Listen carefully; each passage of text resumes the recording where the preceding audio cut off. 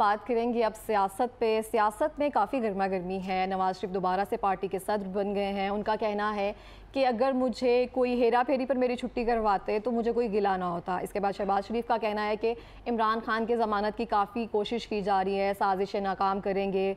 और जो तरमीमी ऑर्डीनेंस दिया गया है नैब का और उसको रिजेक्ट कर दिया है ख्वाजा साद रफ़ीक साहब ने। इस पर बात करते हैं और मरीम नवाज़ साहिबा ने किसानों को सब्सिडी देने का ऐलान किया है और किसान कार्ड का कहा है। तो इस बारे में हम बात करेंगे। हमारे साथ मौजूद है पी टी आई के मलिक जहांगीर हुसैन बारा साहब। असल सर कैसे हैं आप? जी अलहमदिल्ला सर आप मुझे बताएँगे सुन रहे हैं सारे बयान आप? जी जी मैं सुन रहा हूँ। तो कैसा लग रहा है आपको नवाज़ शरीफ साहब दोबारा से पार्टी के सदर बन गए हैं? क्या चेंजेस आएँगे देखिए जी नवाज़ नवाज़ शरीफ साहब जिस तरह पार्टी कन्फ्यूज़ है इसी तरह वो ख़ुद भी कन्फ्यूज़ हैं। और उन्हें समझ नहीं आ रही कि एक टाइम पे वो दोनों तरफ़ बयान दे रहे होते हैं। एक तरफ़ वो तो वो ये ज़ाहिर करने की कोशिश कर रहे हैं कि जी मैं इस कौम का निजात दहिंदा हूँ। और जो ये पीछे दो साल के अंदर या इससे पहले जो कुछ हुआ मेरी गवर्नमेंट जब ख़त्म हुई उसके बाद जो हालात पैदा हुए हैं ये सारे के सारा इमरान खान की वजह से हुए इमरान खान ज़िम्मेदार हैं। हालाँकि आप देखें कि पिछले ढाई साल से मुस्लिम लीग नून की हुकूमत है मियाँ नवाज़ शरीफ फुल फ्लैज इसमें बाख्तियार थे और यही फ़ैसले करके जितनी भी काबीना बनी है जो भी इस्टेबलिशमेंट के साथ जो भी मामला हुए हैं उसमें मियाँ नवाज़ शरीफ पूरी तरह कंसर्न थे। अब वो किस तरह कह सकते हैं कि जी ये अभी जो हालात पैदा हुए हैं और एक तरफ़ आप देखें कि वो जजेस के ख़िलाफ़ बोल रहे हैं टारगेट कर रहे हैं और कुछ जजेस को इसलिए टारगेट कर रहे हैं कि जब वो मेरिट पे कोई फैसला करते हैं फैसला वो रद्दी की टोकरी में चला गया। और कुछ नहीं जो फैसले उनके हक में जाते हैं वो कहते हैं कि जी ये तो ठीक हैं और जो फैसले उनके ख़िलाफ़ जा रहे हैं तो वो वो जनाब, वो तो बहुत बुरे जाई थे और उन जजों की वजह से ये मुल्की हालात पैदा देखिए, असल मामला ये है कि हमारी बदकस्मती है कि उन्नीस सौ पचासी में जब ये फैमिली सियासत में आई, उसके बाद इस मुल्क का भट्टा बैठना शुरू हो गया। इस मुल्क के हालात ख़राब होना शुरू हुए और आप देखें थ्रू आउट चालीस साल से ये ख़ानदान बरसर इकतदार रहा है। जब तक ये इकतदार में होता है, पाकिस्तान में होता है, जब ये इकतदार से हटता है तो ये सीधे कभी जद्दा और कभी लंदन में जाके बैठ जाते हैं और फिर एक रोना भी रोते हैं। अभी देखें कि एक तरफ़ कल उनकी स्पीच आपने सुनी होगी कि जिसमें वो कह रहे हैं कि शबाज शरीफ की वो तारीफ़ें कर रहे हैं कि मेरा भाई बहुत अच्छा है। ले और दूसरी तरफ़ ये कह रहे हैं कि ये जो महँगाई हुई है ये जो बेरोज़गारी हुई है ये जो डॉलर की कीमत बढ़ी है ये जो मामला ख़राब हुए हैं ये वो उसमें उसको जनाब वो क्रिटिसाइज करने को तैयार नहीं है। अब मामला ये है कि ये बंदा ये तो इस तरह अपनी पार्टी को तो कोई भी क्रिटिसाइज नहीं करता ना। नहीं देखे ना बेसिकली अगर तो वो एक मैं समझता हूँ पाकिस्तान के एक सीनियर सियासतदान है। लीडर की हैसियत से। तो वो बतौर लीडर उसको जितनी भी नेगेटिविटी जो भी पार्टी की तरफ़ से हुई हैं जो भी मामला हुए हैं उसमें उसको उसका ज़िम्मेदारी भी लेनी चाहिए। वजह यह है कि नवाज़ शरीफ 2017 में जब इकतदार से उतरा तो उस वक्त वोट को इज़्ज़त देने के लिए इसने ये नारा लगाया कि वोट को इज़्ज़त दो। आज वही नवाज़ शरीफ वोट की इज़्ज़त को पमाल करके 8 फरवरी के रिज़ल्ट को जिस तरह चेंज किया गया 9 फरवरी वाले दिन और जिन लोगों ने किया है वो भी सारा का सारा सबके सामने है। और ये नवाज़ शरीफ साहब अब वो वोट को इज़्ज़त देने के बजाय वोट को इज़्ज़त देना शुरू कर दी है। अच्छा उनका ये भी कहना है कि 2000 का जो 2018 का जो जीता हुआ इलेक्शन था वो शिकस्त में तब्दील कर दिया गया था। इस बात में कितनी सच्चाई है? देखिए ये तो इल्ज़ाम बरए इल्ज़ाम है ना। आप आज भी मैं कहता हूँ कि लेके आए फार्म फोर्टी कि जिस तरह ये 8 फरवरी 2024 में ये सारी चीज़ें ये तो मैं समझता हूँ कि एक बच्चे बच्चे को पता है कि जो रिज़ल्ट था 12-14 सीटा ले सीटें लेने वाली मुस्लिम लीग नून आज इकतदार में बैठी हुई है और वो भी इस तरह बैठी हुई है कि इकतदार दो हिस्सों में बटा हुआ है। एक तरफ़ मोहसिन नकवी साहब के इख्तियार में सारा फुल फ्लैज जितना भी इख्तियार हैं दाखिली और बहुत सारे ऐसे मामला हैं जो वो चला रहे हैं। दूसरी तरफ़ मियाँ शबाज शरीफ साहब हैं और तीसरे जो मियाँ नवाज़ शरीफ साहब दरमियान में आ रहे हैं और ये साबित करना चाह रहे हैं कि जी अगर मैं होता तो ये नहीं होना था। अब मैं समझता हूँ कि आपकी ही पार्टी बरसर इकतदार है और आप किस तरह बरी जमा हो सकते हैं इन चीज़ों से और किस तरह कह सकते हैं कि जी ये ये, ये मेरी पार्टी का किया धरा नहीं है। आज इस मुल्क का नौजवान कंफ्यूज है, इस मुल्क का बच्चा बच्चा जो है वो परेशान है, महँगाई, बेरोज़गारी और मुल्क की तारीख में आप देखें कि दो, उन्नीस में एक बहुत बड़ी हिजरत हुई और आज ये दो सालों के अंदर 2022 से लेकर 2024 तक, मैं ओवरसीज़ कमीशन का चेयरमैन रहा हूँ, मैं आपको बता रहा हूँ कि कम अज़ कम 25 लाख जो अफराद हैं इस मुल्क को छोड़कर जा चुके हैं। इसमें पाँच लाख के करीब वो लोग हैं कि जो प्रोफेशनल डॉक्टर थे इंजीनियर थे और जो आईटी के माहिर थे वो इस मुल्क को छोड़कर चले गए हैं। सिर्फ़ इसलिए कि उन उनको यहाँ पे अपना मुस्तबिल तारीख नज़र आ रहा है। वजूहत के हैं कि खान साहब के दौर के अंदर मैं मैं आपको ये तो ऐसी चीज़ें हैं ना कि बिल्कुल रिकॉर्ड पर मौजूद हैं कि चौंतीस अरब डॉलर जो था रेमिटेंस ओवरसीज़ पाकिस्तानी पाकिस्तान में भेज रहे थे। अब ये जो रजीम चेंज का ड्रामा किया गया और जिस तरह इमरान खान को हटाया गया और उसकी भी वजूहत अब देखें ना अब सारी चीज़ें बा, बाहर आ गई हैं कि इस्टेबलिशमेंट की तरफ़ से जनरल बाजवा साहब जो थे वो इसराइल को तस्लीम करवाना चाहते थे वो पार्टियों के साथ हैनर करवाना चाहते थे लेकिन खान साहब बिल्कुल अल्हम्दुलिल्लाह वो एक अपने मज़बूत इरादे के और एक मज़बूत नफ्सियात अपना नफ्स के मालिक हैं और वो मुकाबला करना जानते हैं।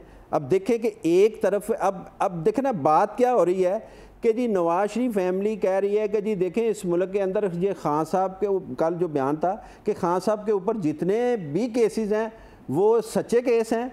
और हमारे ऊपर जो बनाए गए थे वो सारे झूठे हैं। उन्होंने ये भी कहा है कि जो अकामा केस है वो भी उसका इखलाकी जवाब कोई नहीं था पनामा वो सारा हम पे झूठा किया गया है और गैर इखलाकी था। देखे ना भी आज फिर आके बता देना कि एवन फ़ील्ड के जो फ्लैट्स हैं वो किस आज वो वहीं पे वहीं से आ रहे हैं ना मियाँ नवाज़ शरीफ ये चार साल जलावतनी नाम ने हाथ जलावतनी काट के वहीं से आ रहे हैं और आज ये किस तरह आके कह सकते हैं?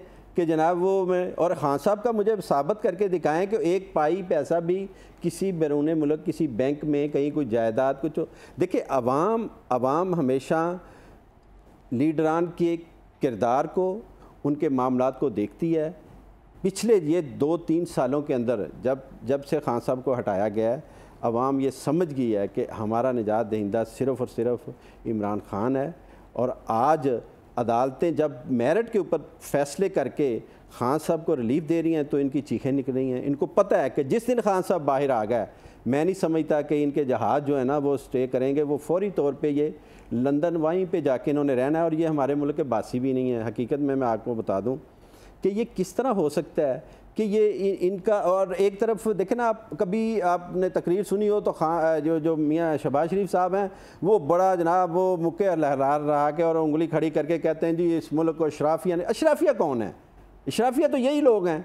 इन्होंने इस मुल्क को लूटा इन इस मुल्क का बेड़ा गर्क किया इस मुल्क के अवाम का खून चूसा और जाकर बैरूनी मुल्कों के अंदर इन्होंने अपना सरमाया। कि अभी जो है आप मुजाकरात की तरफ़ क्यों नहीं आ रहे? तो वो कहते हैं कि टेबल टॉक से सारे मसले हल होते हैं। जब आप देखते हैं कि अपोजिशन जब इमरान खान साहब हुकूमत में थे तो सारी अपोजिशन इकट्ठी हो गई थी उनके अगेंस्ट बिल्कुल ना?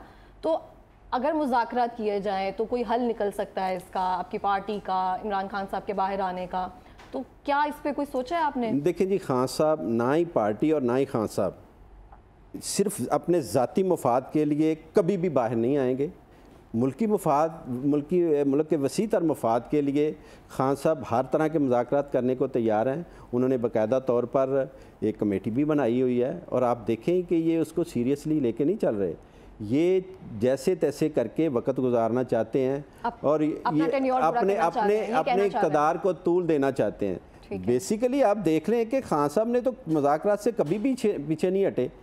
शुरू दिन से लेकर 2022 में जब ये रजीम चेंज हुई है उसके बाद जितने भी मामला रहे हैं उसमें खान साहब ने तो कभी भी इस बात से इनकार ही नहीं किया। लेकिन वजह क्या है?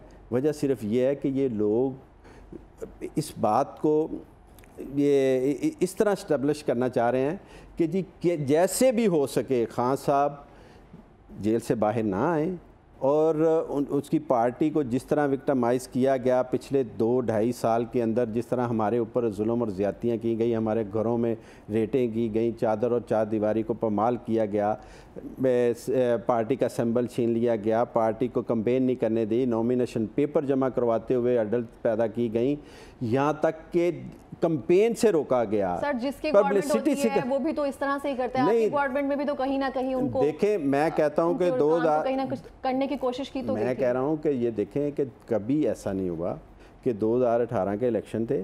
जिस तरह अगर ये कहते हैं कि जी उसको कंपेयर करते हैं 2018 को 2024 में तो मुझे बता दें कि किस मौके पर मुस्लिम लीग नून को या किसी पार्टी को कंपेन से रोका गया था नॉमिनेशन पेपर जमा कराने से रोका गया था ऐसी कोई बात नहीं थी।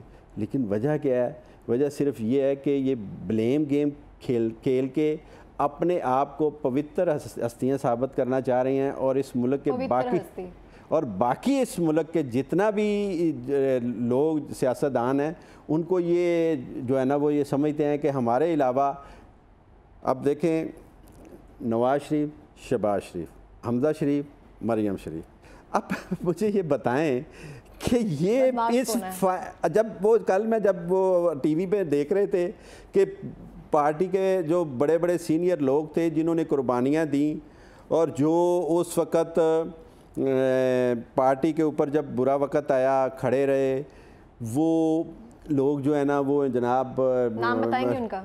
मैं कह रहा हूँ कि वहाँ पे आप देखें ना कि वो जितने भी लोग थे राना सनावला वगैरह ये और वो उन्होंने तो देखो बाकायदा तौर पर अपनी पार्टी के अंदर जितनी भी का, नहीं कुछ चीज़ें ऐसी हैं कि जो निकाल के बाहर भी रखी हैं। अब देखें, जवेद लतीफ़ साहब ने यह कहा कि नब्बे करोड़ रुपये में जो ना सौदा हुआ सीटों का, शेखुपुरा की, अब ये बात कोई और तो मैं तो नहीं कर रहा ना। उनकी पार्टी के अंदर से आ रही हैं। राना सनाउल्ला जो जिस जगह भी बैठ रहे हैं और ये जो अभी वाक़ वाक़ हुआ है, इस्लामाबाद में ये जो हमला हुआ था अपना हमारे पीटीआई के रहनमा पर। तो वो उसके ऊपर भी देखें कि उन्होंने किस तरह मीडिया के ऊपर आके कहा कि अगर बात खुसरों तक आ गई है तो मेरा ख्याल है सुलह कर लेनी चाहिए। यानी ये अंदर से सारे चीज़ आप तो वो तो कहेंगे क्योंकि आपके दौर में राना सनाउल्ला के साथ भी तो अच्छा नहीं हुआ था ना। उन पे भी तो काफ़ी केसेस काफ़ी उनको मसले का सामना था। वो तो अपना गुस्सा निकालेंगे। ग्रश रखने का उनको मौका मिला वो तो करेंगे। नहीं देखिए राना सनाउल्ला के साथ जो भी कुछ हुआ मैं समझता हूँ। कि अगर तो वो उनके साथ गलत हुआ था तो अदालतों ने उसके ऊपर फैसले दिए हैं और हम उन अदालतों के इन फैसलों को मानते हैं। ठीक भी हुआ लेकिन आ, तो रखते हैं ना। आज आज अगर आप इस बात को मद्देनज़र रख के अगर मुल्क के वसी तर मफाद में आपने सियासी फ़ैसले करने हैं तो उसके लिए फिर आपको हर सूरत बैठना भी चाहिए। और मुल्की जो अवामी फ़ैसला है देखें किसी भी पार्टी किसी फ़र्द किसी सियासतदान की असल जो आ, हकीकत में उसकी जो ताकत होती है उस मुल्क की उस कौम की जो वो वोटर होता है जो आवाम होती है उसका फ़ैसला जो है ना वो लीडर बनाता है पार्टियों को मज़बूत करता है। लेकिन यहाँ पर तो क्या हुआ कि आप देखें कि आठ फरवरी को आवाम निकली, उन्होंने जाकर एक खामोश वोट डाला और उस वोट को जिस तरह पामाल किया गया, उसी रात सुबह 9 फरवरी की सुबह होने से पहले पहले जिस तरह रिज़ल्ट चेंज किए गए और हलकों में सौदेबाजियाँ हुई आरओ को ख़रीदा गया, स्टैब्लिश के, की जितनी टीमें थी वो निकली हुई थी, उन्होंने जाकर नोट वसूल किए। अब ये तो चीज़ें देखें, एक तारीख का हिस्सा बन चुकी हैं। अच्छा, और ये तारीख वजी अजम शहबाज शरीफ साहब का भी ये कहना है कि इमरान खान के ना ज़मानतों की बहुत कोशिश की जा रही है। हम इस साजिश को ना नाकाम करेंगे। कौन कोशिश कर रहा है और किन साजिशों को ये नाकाम करेंगे? देखें जी इमरान खान वो ये लोग चाह नहीं रहे हैं कि इमरान खान साहब बाहर आए। नहीं देखें इमरान खान के ऊपर जो भी जो उनको एक हफ़्ते के अंदर तीन सज़ाएँ सुनाई गई। ठीक है। ये देखें ना तारीख पाकिस्तान की तारीख दुनिया की तारीख के अंदर कभी ऐसा नहीं हुआ। अब वो जब अपीलों में गए हैं, आला अदलिया ने उसके ऊपर जब फैसले दिए हैं तो अब इनको ये बुरा लग रहा है। वो जो जजेस जिनको इन्होंने स्पेशली सज़ा सुनाने के लिए डिप्यूट किया था, अब उनके फ़ैसले जब आला अदलिया में गए हैं तो जब उनको वो रिव्यू कर रहे हैं तो फिर इनको इस बात पे भी बुरा लग रहा है कि जी क्यों इमरान खान साहब बाहर आ रहे हैं। देखें, अगर आपने सियासी मैदान में रहते हुए सियासी विजन के साथ सियासत के मैदान के अंदर सियासी तरीके से फाइट नहीं करना तो फिर आप कभी कामयाब नहीं हो सकते। मुस्लिम लीग नून का बेड़ा गर्क करने वाले यही लोग खुद ही हैं। इन्होंने अपनी पार्टी को जिस तरह बेचा इस पार्टी का सौदा किया इस पार्टी को इस नह तक पहुँचाया इस किया? ये यही पार्टी की ये दो यही फैमिली है। आप देखें ना कि अब अच्छा, वोट को इज़्ज़त के नाम में नहीं है नहीं वोट को इज़्ज़त के नाम पर ये मियाँ नवाज़ शरीफ 2017 में प्राइम मिनिस्टर हाउस से जब निकले हैं तो इन्होंने वोट को इज़्ज़त देने के लिए और आज आपके सामने है कि वोट को क्या इज़्ज़त मिली है। आप देखें जी वोट की इज़्ज़त को तो इन्होंने पमाल कर दिया। यही मियाँ नवाज़ शरीफ जनरल बाजवा जनरल शरीफ साहब का कहना है कि चार पाँच लोगों ने मिलकर ना अवाम का मैंडेट का बेरा कर दिया। देखें जी ये चार पाँच लोग कौन है वो चार पाँच लोग? पीटीआई के जो मेन लोग हैं। नहीं पीटीआई के तो कोई ऐसा बंदा नहीं है कि जिसने जाके इस्टेब्लिशमेंट से मिलके इनका कोई बेड़ा गर्क किया हुआ। इन्होंने इस इस्टेब्लिशमेंट के साथ मिलके अपनी पार्टी का भी बेड़ा गर्क किया है और आवाम के अंदर इनकी जो आज पोजीशन है मैं नहीं समझता कि ये किसी तरह भी आइंदा आने वाले इलेक्शनों में सरवाइव नहीं कर नहीं सरवाइव भी नहीं कर सकते और इन ताला ये इस मुल्क को छोड़कर भागेंगे। यही मियाँ नवाज़ शरीफ था। कि जिस तरह मैं आपको बता रहा था कि वोट की इज़्ज़त के लिए निकला और आज वोट की इज़्ज़त को पमाल करने के बाद आज फिर वो नए सिरे से वो दोनों तरफ़ विकेट के खेलना चाह रहे हैं। एक तरफ़ तो कह रहे हैं कि मियाँ शबाज शरीफ मेरा भाई है, इसकी बड़ी कुर्बानियाँ है, इसकी बड़ी कंट्रीब्यूशन है। और दूसरी तरफ़ उसका जो डिस्क्रेडिट है कि जिसमें महँगाई, बेरोज़गारी और इस मुल्क के अंदर डॉलर की जो कीमत बढ़ी है पेट्रोल की कीमत बढ़ी है महँगाई का तूफ़ान हुआ है लोग आया लोग बेरोज़गार हुए हैं लोग इस मुल्क को छोड़कर भागने पर मजबूर हुए हैं। उस मामले में जनाब वो सारे का सारा वो कहते हैं कि जी ये इमरान खान की वजह से है। तो ऐसा नहीं है अवाम बेवकूफ़ नहीं है अच्छा, अवाम समझते हैं। साहब का आप अगले पाँच साल में क्या मुस्तबिल देख रहे हैं? मरीम नवाज़ साहिबा का क्या मुस्तबिल देख रहे हैं? देखें जी ये मैं समझता हूँ कि तो उन्होंने पूरा कर लिया पंजाब में मरियम साहिबा ने। नहीं इसको अगर आप होल्ड समझती हैं तो मादरत के साथ ये होल्ड नहीं है। ये आज उनके ऊपर जो जिस होल्ड को जिस स्पोर्ट को लेकर वो आज मसलत हुए हैं आज ही अगर अदालतें जितने भी ट्रिब्यूनल्स के अंदर केस चल रहे हैं उनके फैसले फौरी तौर पर हो जाएँ तो मरियम नवाज़ शरीफ तो खुद अपना इलेक्शन हारी हुई है। देखिए आपने मुझे भी कहा ना कि ग्रुप्स बन चुके हैं इनके आपस में इनके खुद में ये इतिहाद नहीं है। तो अब जो शहबाज ग्रुप है उनका क्या होगा? क्योंकि नवाज़ शरीफ साहब ऑफिशियली आ चुके हैं ना पार्टी के सदर बन गए हैं। तो शहबाज शरीफ साहब की जो पार्टी में वैल्यू है वो क्या होगी? मरियम नवाज़ ही होल्ड करेंगी या या शहबाज शरीफ साहब की भी कोई वैल्यू रह जाएगी? देखें जी शहबाज शरीफ साहब की वैल्यू जो शहबाज शरीफ को चाहिए था वो तो उसको मिल गया। दूसरी वज़ीर अजम शिप उसको दोबारा फिर मिल गई है। बाकी रहा कि पार्टी पार्टी तो ये मरियम नवाज़ शरीफ और नवाज़ शरीफ ये तो सपने यही चला रहे हैं। यही समझते हैं कि हमारे हाथ की घड़ी है और इसको जिस तरह चाहेंगे हम चलाएँगे। तो मैं नहीं समझता कि ये इन हालात के अंदर जिस तरह इस मुल्क के अंदर आवाम इस तरह भी सूरत हाल से गुजर रहे हैं आवाम के अंदर गम गुस्सा है आवाम को आठ फरवरी का अपने वोट का फ़ैसला जो चेंज किया गया है उसके ऊपर गुस्सा है आवाम महँगाई बेरोज़गारी और ये लोड शेडिंग का जो अभी तूफ़ान है इससे जब लोग गुज़र रहे हैं तो लोग इनको कभी माफ़ नहीं करेंगे। ये तो मसलत किए हुए लोग हैं ना। देखें मैं जिस तरह आपसे बात कर रहा था कि आज आज फौरी तौर पर यह कोई बड़ी रा, रॉकेट साइंस नहीं है कि फार्म 45 और फार्म 47 जिस तरह इस इस कौम को जिनके चक्रों में डाला गया है आज फार्म 45 के मुताबिक अगर सारे के सारे रिज़ल्ट आ जाएँ तो पूरे पाकिस्तान के अंदर 16 से 17 सीटें जो है ना, वो मुस्लिम लीग नून के पास कौमी की हैं और 50 से 60 सीटें जो है ना, वो सूबाई इसम्बली की हैं। तो इनके ऊपर वो हुकूमत बना के पंजाब में और मरकज़ में बैठे हुए हैं और अपने आप को इस कौम का निजात दहिंदा भी कह रहे हैं और ये कह रहे हैं कि जी, हम नहीं तो कुछ भी नहीं। इस तरह नहीं है। आवाम हकीकत में इनके साथ नहीं है सरमायादार है वो जो है वो परेशान है।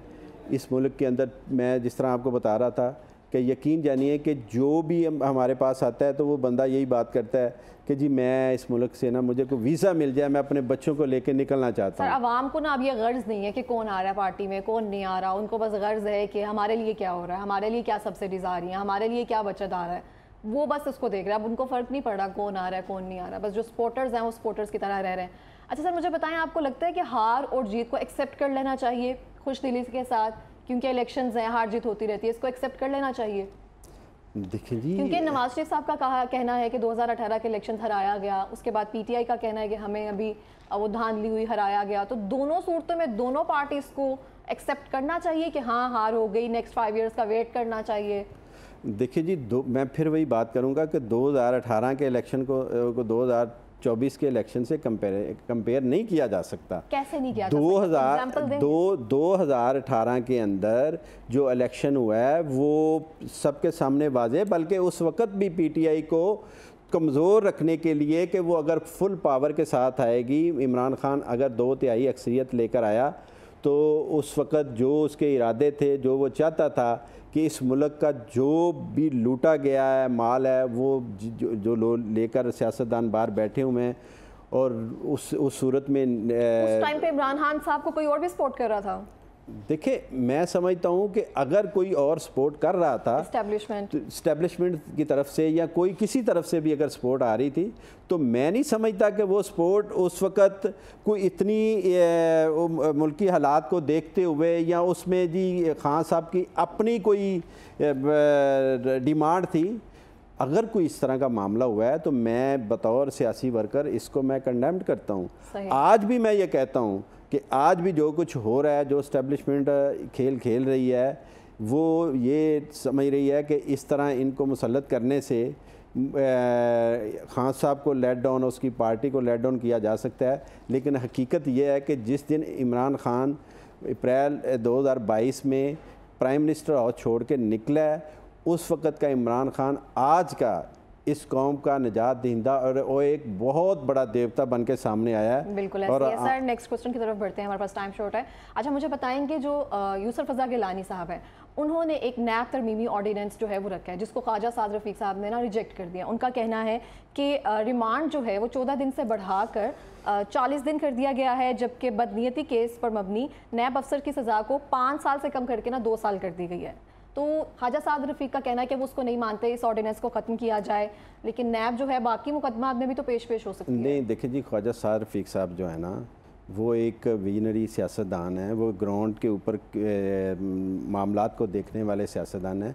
उनको पता है कि पिछले दौरे हुकूमत में नबे दिन का रिमांड होता था नैब का, जिसमें तरमीम करके चालीस चौदह रोज़ का या पंद्रह रोज़ का उसको किया गया था। आज उस वक़्त तो यही मुस्लिम लीग नून ये डिमांड करती थी कि ये रिमांड बहुत ज़्यादा है। आज वही मुस्लिम लीग नून तरमीम करके तो वो उसको और बढ़ाना चाह रही है। अपने पर तो पर देखे ना ये चीज़ें नज़रिया ज़रूरत के तहत जब जो कोई चीज़ अपने किसी के मुखालफत मुखालफ के ख़िलाफ़ इस्तेमाल करने के लिए चाहिए तो उस वक़्त वो ठीक है। और जब वो अपने ऊपर आ जाए तो फिर वो गलत है। तो सर आपको लगता है मिल बैठ कर ये कानून साजी कर सकेंगे दोनों पार्टीज़? क्योंकि इनकी आपस में चलती रहती है पीपल्स पार्टी नून लीग की इनकी आ, कमांड भी बहुत होती है आपस में लेकिन इस तरह से चीज़ें चलती रहती हैं। देखें जी मैं ये पीपल पार्टी हो या मुस्लिम लीग नून हो ये दोनों एक ही सिक्के के दो रुख हैं।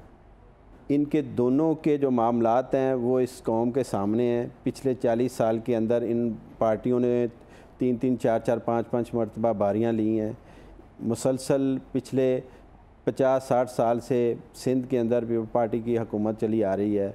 सिंध के हालात आपके सामने हैं कराची के हालात आपके सामने हैं और उसके अलावा ये पंजाब के अंदर जिस तरह उन्नीस से लेकर आज तक मुस्लिम लीग नून बरसर इकतदार रही है जो इस मुल्क के सियासी और मुआशी जो बेड़ा गर्क किया गया है मैं नहीं समझता कि इससे बड़ी मुल्क दुश्मनी कोई और हो सकती है। कि दोनों पार्टीज़ बैठकर दोनों पार्टियाँ पार्टियाँ मिलके करती हैं ये दोनों करेंगी गिव एंड टेक होगा किसी ना किसी स्टेज के ऊपर कुछ उनकी डिमांड्स होंगी वो उनको उनके के लिए कुछ करेंगे फिर आपस में जाके वो जनाब फिर एक एजेंडे पे आपके ये इकट्ठे हो जाएँगे। और ये कौम के लिए करने के लिए कुछ नहीं आए इनके अपने ज़ाती मफादात हैं और ये मफादात की की जो है ना वो गेम खेल रहे हैं। इसमें देखिए अगर नैब के रिमांड के ऊपर बात करें तो मैं समझता हूँ कि क्या इसमें बुराई है कि जी आप इन, क्यों नहीं इन, इनको सियासी तौर पर इन इदारों को गैर पोलिटिसाइज करें, इनके अंदर आप मुदाखलत ना करें, उन्हें अपने तौर पर मामला को चलाने दें। बिल्कुल ऐसे ही है। इसी तरह ये एक्स्टेब्लिशमेंट को चाहिए कि से अपने डोमेन में रहे वो अपने जितने भी मुल्की दफ़ा में दफ़ा में मुल्की दफ़ा के लिए वो जो भी पॉलिसियाँ बनाना चाहते हैं उसमें गवर्नमेंट से सपोर्ट लेकर वो करें। लेकिन ये तो नहीं है कि अब वो अंदर से सियासी विंग बने हों और वो आकर इस मुल्क की सियासत को अपने तरीके से चलाने की कोशिश करेंगे। इस तरह होगा तो फिर मैं नहीं समझता कि ये मुल्क आगे नहीं बढ़ सकता और ना ही इस मुल्क के अंदर आवाम के अंदर खुशहाली आ सकती बिल्कुल ऐसी हर इदारा जो है अपनी डोमेन में रहकर काम करे तो फिर ही शायद कुछ बन सकता है। तो अगले सवाल की तरफ़ आते हैं सर जो किसानों के साथ जुल्म हुआ है जो गंदम स्कैंडल है उसको हल करने के लिए ना मरीम नवाज़ साहिबा ने एक किसान कार्ड का इजरा किया है और उनको कहा है कि किसानों को सब्सिडीज़ देंगे। तो क्या उनके साथ जो जुल्म हुआ है उसका मुदावा हो सकेगा? और किसान कार्ड में ऐसी क्या सहूलियात होनी चाहिए उनके साथ कि जो उनके साथ ये सारा सीन हुआ है उसको कोप अप कर सकें? देखिए जी सबसे पहली तो बात ये है कि किसान को किसान कार्ड जो है ना वो पीटीआई के दौर में ये मुतारफ़ करवाया गया था। अच्छा। हाँ ये बात आप जहन में रखें। आज अगर ये कुछ मरियम नवाज़ साहबा किसानों के ऊपर एहसान करना चाहती हैं तो उनकी वो पूरे साल की मेहनत उनकी खून पसीने की जो पैदावार है उसको ख़रीदना चाहिए। मैं समझता हूँ जुल्म की इंतहा ये है कि किसान सड़कों पर आए किसानों ने आकर जुलूस निकाले। किसानों की वो मेहनत जो है ना वो पूरे साल की जो उनकी खून पसीने की पैदावार थी उसको मिट्टी में मिला दिया गया। आप इंपोर्ट कर रहे हैं गंदम बाहर से और फिर उसमें अरबों रुपए की करप्शन की जा रही है और अपने मुल्क की पैदावार अपनी गंदम को जो है वो नहीं ख़रीद रहे और, और किसानों को डिस्कर्ज कर रहे हैं। और आज आप कहें कि जी हम किसानों को जो है ना किसान सब्सिडी या किसान कार्ड दें। देखिए हमारा हमसाया मुल्क इंडिया है।